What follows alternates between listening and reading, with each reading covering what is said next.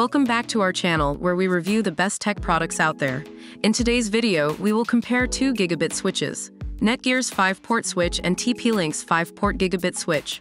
Don't forget to hit the like button, comment which one you prefer, and subscribe to our channel for more tech reviews. When it comes to price, TP-Link's 5-port gigabit switch has a significant advantage, being almost half the price of Netgear's 5-port switch. Both switches are conveniently designed to be placed either on a desktop or wall-mounted, making them perfect for small offices or home use.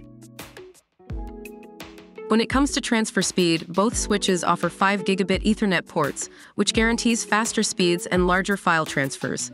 However, TP-Link switch has an added advantage of a 15K jumbo frame, which can significantly improve the performance of large data transfers. Both switches offer features that improve network security and monitoring, such as port mirroring, loop prevention, and cable diagnostics. TP-Link Switch has additional VLAN features that allow traffic segmentation and an IGMP snooping feature that optimizes multicast applications. The switch also has port and tag-based quality of service that enables smooth latency-sensitive traffic.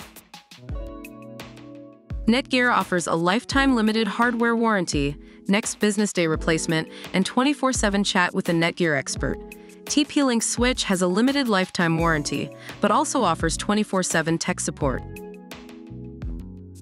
After evaluating both switches, we can conclude that TP-Link's 5-port gigabit switch offers almost identical features with some added advantages at a much lower price point.